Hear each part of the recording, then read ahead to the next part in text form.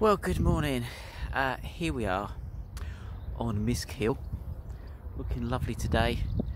Um, and this is the last reflection we're going to have on video for the time being. For the time being, we you never know, we might see the need to start again.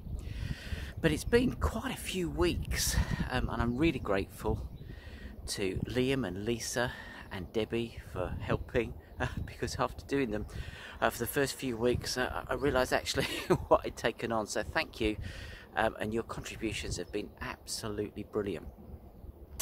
Uh, but it seems like an interesting stage of the journey. Here am I on, do you call it Misk Hill or Misk Hills? But I'm halfway up one of the hills, and you see there's a little way to go there. And it, it seems like that's the stage of the journey that we're on at the minute. You know, we can look back and see where we've been. So as I look back down there, I can see the woods that I went through to get to here and you know the gate and climbing up this hill. I can see there's quite a bit further to go. And actually when you look at there beyond the top of the hill that's it. You can't see what's what's there but there's a lot more terrain that you can't see past there.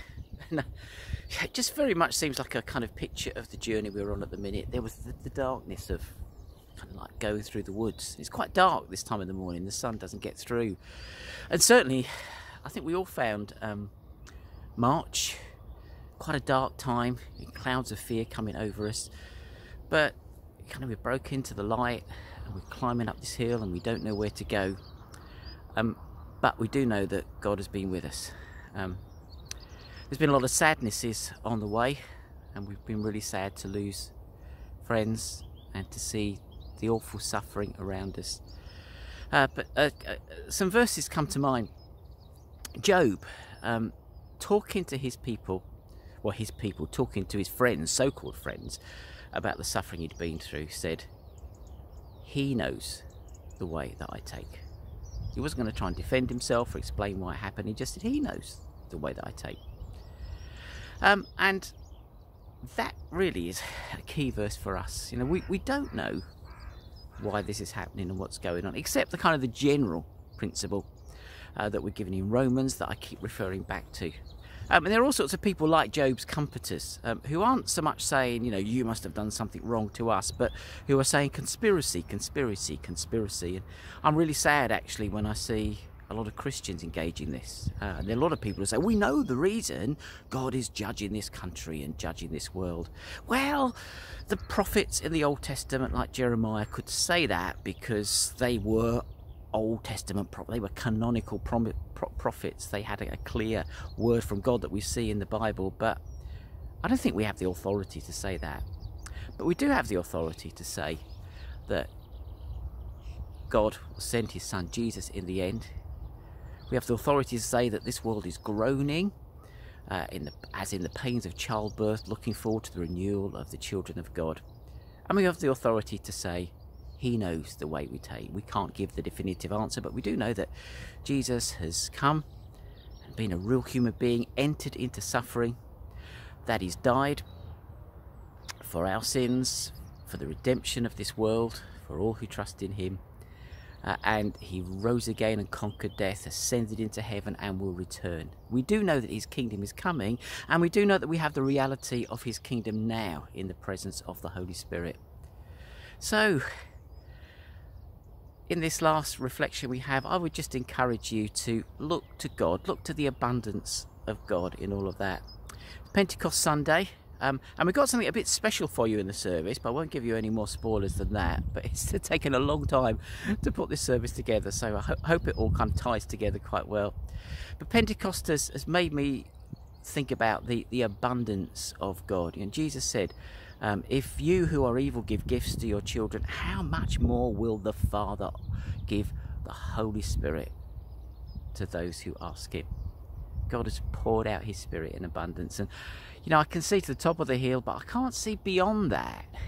And, and we feel a bit like that at the minute. You know, we can see, yeah, there's a long way to go, but we don't know what the future holds. But we do know God knows, and we do know that He will give us in abundance everything we need. Uh, and I'll leave you with those verses in Ephesians. Now to Him who is able to give far more than we could ask or even imagine. To him be glory in the church and in Christ Jesus. Don't look at the, the fear and the bleakness around you. Look at the abundance that God has given you and rejoice in Him. He will get us from A to B. He will take us safely into that eternal kingdom. Let's pray. Heavenly Father, on this beautiful day, we thank you that you take us every step of the way. You know the way that we take. So we pray that you would help us to trust in you, that you would give us the strength to keep going. We thank you that in these weeks we've we've known your hand upon us. You know that we have had sadnesses. We do think of Inez and others known to us who've lost loved ones. We thank you that you've given us opportunity to witness to your kingdom in word and deed. We thank you for those who've been working in the food bank and other places. We thank you for those who've been working in hospitals and councils and paramedics and pharmacists and, oh, and shop workers. We thank you for people who've been keeping us going. We thank you that you provided all our needs and we believe you for provision in the future. And Father, we do pray that, that sometime soon, in your time though, you will be able to gather together as your family to worship you. But we do thank you that you've given us those family bonds that will never be broken.